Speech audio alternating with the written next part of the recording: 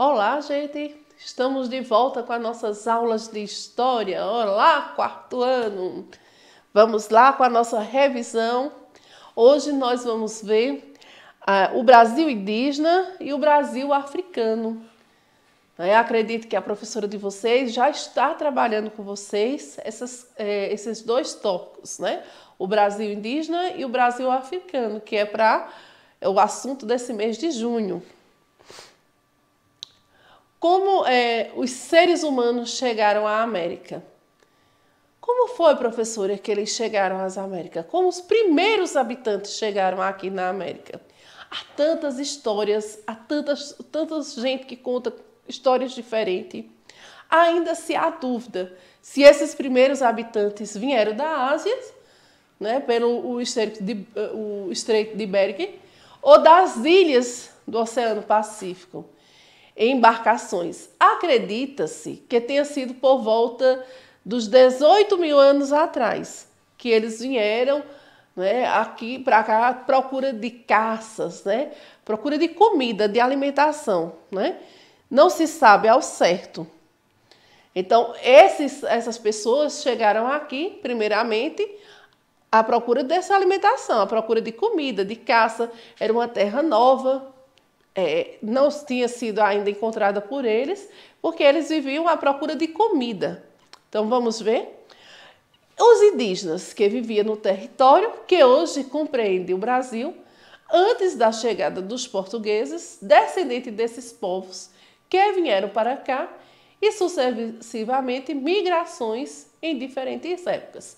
Então, esses indígenas acredita-se que eram é, descendentes desses primeiros habitantes que vieram pelo esse estreito de Bering, porque não se tem nenhuma outra notícia né, de como esses humanos chegaram, esses seres humanos chegaram aqui nas terras brasileiras, né, que vieram a ser brasileiras depois, né, se compreender a ser brasileira, né, anteriormente.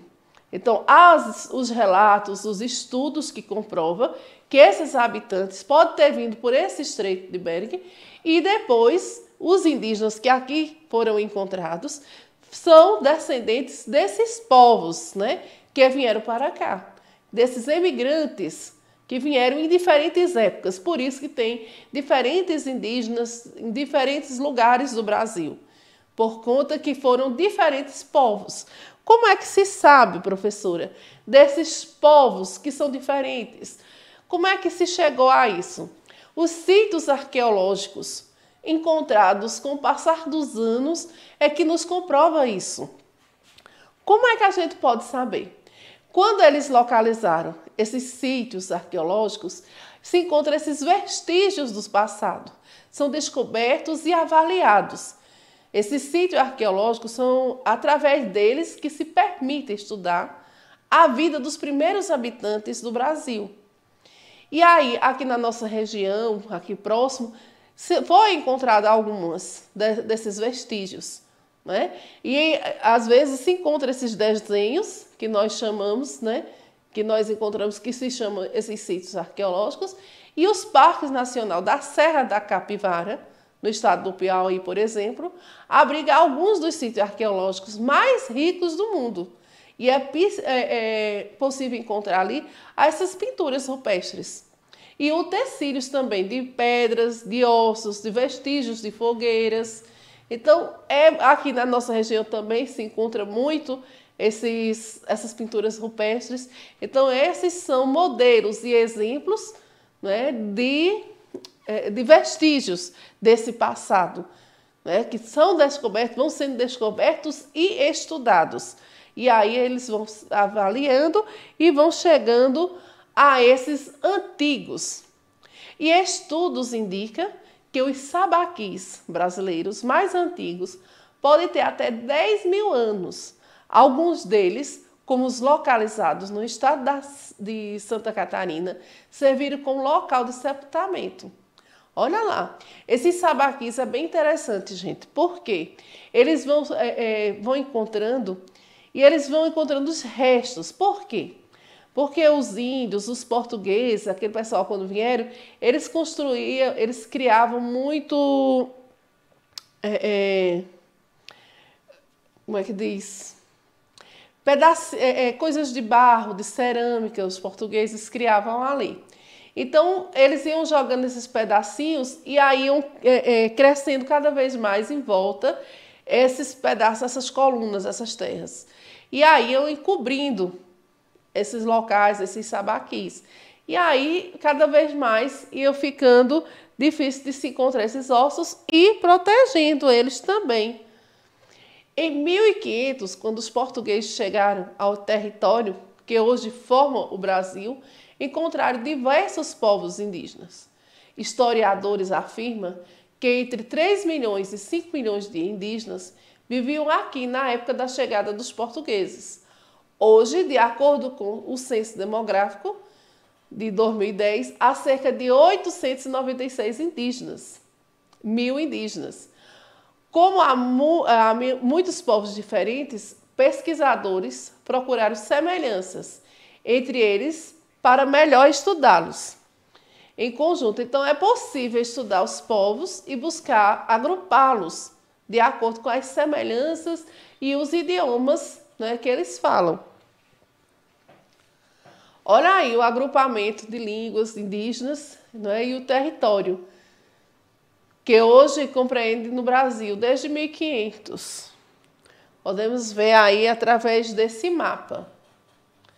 No dia 22 de abril de 1500, os portugueses chegaram pela primeira vez no litoral da América, onde hoje está o município de Porto Seguro.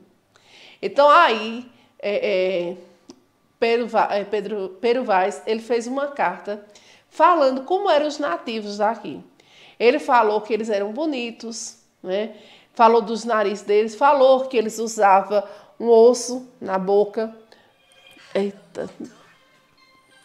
Falou que eles usavam osso na boca, como se estivesse colado na boca. Né? Ele relatou, destacou como eles eram. Então, deixando bem claro como eles eram, que eles eram acessíveis, que eles estavam é, é, pelados, que eles não tinham vergonha de estar pelados, que não fazia nenhum caso de encobrir né? ou descobrir alguma parte. Ele não tinha vergonha de mostrar a cara. Né? Então, tudo isso ele falou. Falou também que eles eram inocentes. Olha como, ele, como eles relataram a inocência dos indígenas. Então, é, é uma forma como ele falou, como se fosse para se aproveitar da inocência deles. Ele relatou a inocência dos indígenas, porque ele não estava acostumado com pessoas assim. Então eles foram amigos. Eles se mostraram como eles realmente eram. Agora observe o mapa abaixo e veja a rota da viagem feita pelos portugueses para chegar ao território que hoje forma o Brasil. Então, eles vieram para o Brasil, depois foram para a África, né, chegaram até Porto Seguro, foram para a África. Então eles disseram que não sabia que estava chegando ao Brasil. Eu não acredito nada disso. Eu acredito que foi bem planejado. Não sei as outras pessoas, mas eu acho que foi bem planejado essa vinda ao Brasil. Então tudo isso a gente fica na dúvida, né, gente? Mas eles dizem que vieram por erro, por engano, que é raro, que foi um vento que trouxeram eles ao Brasil, que foi uma descoberta por acaso mudanças e conflitos. Então, eles chegaram ao Brasil, encontraram os índios pacíficos, como vocês viram, mas depois, com o passar do tempo, eles começaram a escravizar os índios. Por quê? Eles começaram a cortar o, o pau-brasil, porque o pau-brasil estava é, tinha tinta, né? tinha madeira, tinha tinta, que eles precisavam muito. E aí não tinha mão de obra. Então eles começaram a trocar o trabalho dos índios por alguns objetos de pouca, é, pouco recurso, pouco dinheiro. E os índios de início gostaram, mas depois eles queriam mais e mais e começaram a escravizar os índios. E os índios não estavam acostumados a trabalhar. Eles trabalhavam sim para caçar, para o alimento deles, para a necessidade deles não trabalhava no pesado, não trabalhava assim por obrigação, trabalhava para o que ele necessitava. E aí começaram a ser obrigados a trabalhar. E aí eles começaram a se rebelar. Em relação, é, a relação entre portugueses e indígenas foi marcada por é, constantes conflitos.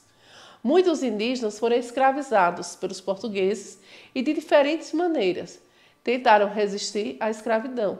O contato com os portugueses, além de mudança na vida dos povos que aqui viviam, trouxeram hábitos diferentes e culturas que foram assimilados pelos indígenas e também pelos é, colonizadores, ou trocas de cultura. Então, assim, houve, além desses conflitos que houve entre eles, não, foi, não foram poucos, né, porque eles resistiram a essas tentativas de é, escravizá-los, também teve as mudanças de vida dos povos. Tanto a, os hábitos, que eles queriam mudar os hábitos e as culturas dos indígenas, e também eles assimilaram a cultura dos indígenas, que eles queriam mudar a cultura dos indígenas, mas ao mesmo tempo eles também trocaram de cultura com eles. O que é ser indígena no Brasil? O que é hoje ser indígena no Brasil? Para você, o que é ser indígena? Assim como os chamados brancos estão sempre em desenvolvimento e, segundo o, e seguindo o ritmo da vida e do universo, não podemos ter uma visão de que os índios ainda vivem sem roupa, ainda anda por aí sem roupa, ou que moram em ocas, ou como mostra nos livros antigos. Eles têm orgulho de suas raízes e têm consciência do seu passado e está em renovação do conhecimento para saber lidar com o mundo atual, assim como nós. Então, do mesmo jeito que nós, eles também estão se desenvolvendo. Eles não ficaram lá no passado. Eles estão hoje, vivendo o hoje, assim como nós. Eles hoje estudam, eles se formam, eles são médicos, eles são advogados, eles são professores, assim como eu. E assim sucessivamente o Brasil africano. Vamos ver? O Brasil africano de 1530. Olha lá como era. Não tinha as divisórias que temos hoje. Os navios negreiros, veja como os navios chegaram. Eles vinham, eles chegavam lá na África. Essas, esses africanos tinham sua vida. Eles tinham suas moradias, eles tinham suas casas, suas famílias, suas terras. Eles viviam lá, né, com suas famílias, com seu, é, é, sua cultura. Muitos deles eram reis, rainhas também. E eles eram pegos e trazidos, separados de sua família, porque eles separavam, não traziam as mesmas famílias, não vinha pai e mãe dentro do mesmo navio para não se rebelarem, eles vinham separados. Então chegava dentro desses navios, é, já era sofrido porque eles estavam sendo trazidos à força, obrigados, tirados de suas casas, de suas terras, de sua família, do seu país, botado num navio, que nesse navio não tinha a comida necessária, não tinha higiene. Veja só, todo mundo é, é, mutuado, todo mundo junto, um em cima do outro. É, a, a, sem família, sem conhecimentos. E aí eles passavam a se conhecer e viravam os malungos, que eram o quê? Os companheiros de viagem, os companheiros de sofrimentos. E eles passavam a se proteger e a ser amigos um dos outros. E aí, eles se eles ficassem no mesmo lugar, na mesma região, eles passavam a se cuidar um do outro, assim como família. E aí eles ficavam, ficaram conhecidos como os malungos. Olha aí, eles desembarcando quando eles chegavam de navios. Em 1550 até 1850, durante 300 anos, cerca de 4 milhões de africanos foram escravizados, foram trazidos para o Brasil à força. Eles eram trazidos e vendidos. É? Depois teve uma lei que eles foram proibidos de trazer africanos de fora do Brasil. Quando eles foram proibidos de trazer esses africanos para o Brasil, eles passaram a vender né, aqui no Brasil, os que já tinham aqui, vender ou alugar os seus próprios é, negros, seus próprios escravos, né, até vir a Lei Áurea. Quando veio a Lei Áurea, que já tinha muitos adeptos né, a, a essas leis, foi que acabou essas vendas. Mas antes disso, houve muita resistência à escravidão. As resistências, eles fugiam, eles queimavam a, a, os locais onde eles ficavam aprisionados, queimavam as fazendas e saía fugindo, ia para os quilombos, iam é, é, se afugentar nos quilombos, onde foram criados os quilombos, que ainda existem hoje é, esses quilombos. E nesses quilombos, eles ficavam lá escondidos por muito tempo. E esses quilombos, até hoje, se tem brigas por essas terras, porque os grandes políticos querem tomar essas terras, né? Os grandes, os grandes, não só os políticos, mas os fazendeiros querem tomar essas terras porque eles não compraram, eles não têm documento nenhum dessas terras e aí eles querem como se fossem os donos, mas são dos quilombos dos quilombolas, que foi passado de pai para filho, de geração em geração, e estão lá até hoje. Tá certo? E antes, eles não fizeram, alguns quilombos não foi feito estradas, ficaram muito tempo sem estradas, vivendo a sua própria cultura, a sua própria língua, os seus próprios costumes. Por muitos anos, eles continuaram com a sua cultura. Quando chegou a liberdade definitiva dos escravos, em 13 de maio de 1888, quando a princesa Isabel assinou a Lei Áurea, foi uma grande festa. Eles festejaram muito, né? Por conta da liberdade. Mas será que eles sabiam viver essa liberdade? Vamos aprender nas próximas aulas. Se eles conseguiram viver essa liberdade. Então, até a próxima aula, gente. Boa prova. Se cuide, cuidado com as fogueiras, cuidado com o coronavírus. Um grande beijo e um grande abraço em todos.